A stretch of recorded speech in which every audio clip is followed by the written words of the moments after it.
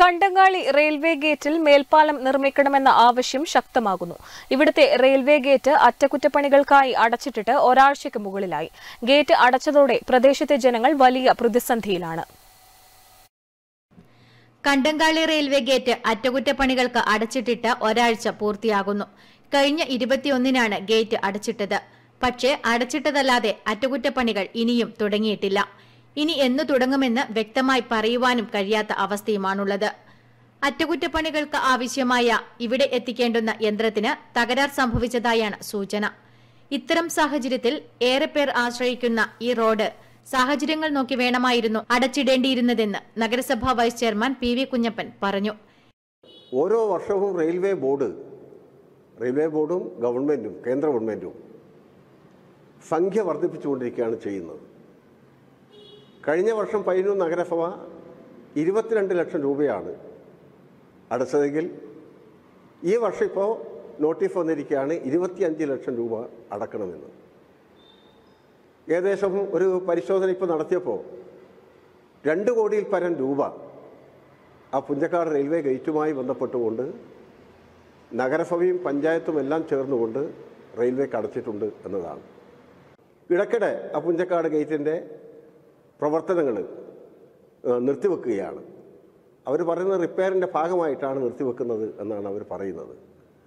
വലിയ പ്രയാസമാണ് ജനങ്ങളെല്ലാം ഇന്ന് അനുഭവിക്കുന്നത് എന്ന കാര്യം ഈ പിന്നെ പറയാതിരിക്കാൻ വഴി കഴിയില്ല എന്നാണ് സൂചിപ്പിക്കാൻ ഉള്ളത്. ഗേറ്റ് അടഞ്ഞുകിടക്കുന്നതു കാരണം പൊതുജനങ്ങൾ ദുരിതത്തിലാണ്.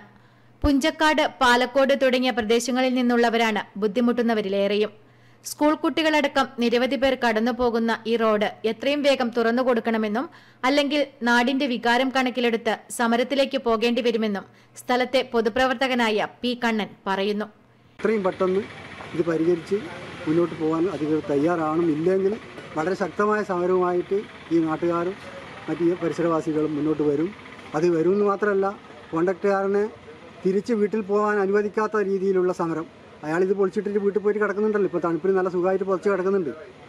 ഞങ്ങ- ഞങ്ങൾക്കും കിടക്കാൻ അറിയും അതുകൊണ്ട് ആ ഒരു സംവിധാനം ഇല്ലാത്ത രീതിയിലുള്ള സമരം ഞങ്ങൾ സംഘടിപ്പിക്കും. അയാൾ ഇവിടുന്ന് തിരിച്ചു പോകാത്ത അവസ്ഥയിലുള്ള സമരം ഞങ്ങൾ സംഘടിപ്പിക്കും. അതിന് ഇല്ല വഴി വെക്കരുത് എന്ന് മാത്രമാണ് ഈ സന്ദർഭത്തിൽ സൂചിപ്പിക്കാനുള്ളത്. ഗേറ്റ് അടച്ചിട്ടതറിയാതെ നിത്യേന നിരവധി വാഹനങ്ങളാണ് ഇവിടെ എത്തി തിരിച്ചു പോകുന്നത്. സ്കൂൾ വിടുമ്പോൾ രക്ഷിതാക്കൾ എത്തിയാണ് കുട്ടികളെ ഗേറ്റ് കടത്തിവിടുന്നത്. അതിനിടെ ഇവിടെ മേൽപ്പാലം നിർമ്മിക്കാൻ ആവശ്യമായ നടപടികൾ സ്വീകരിക്കണമെന്നാണ് ആവശ്യം.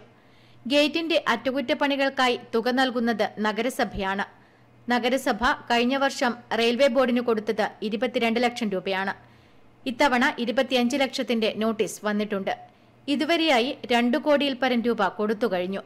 വലിയ തുക ഇനിയും നഗരസഭ ചിലവഴിക്കേണ്ടതായി വരും. ഈ സാഹചര്യത്തിലാണ് ഇവിടെ മേൽപ്പാലം നിർമ്മിക്കാനുള്ള നടപടികൾ ഉണ്ടാകണമെന്ന് നാട്ടുകാരും നഗരസഭയും ആവശ്യപ്പെടുന്നത്.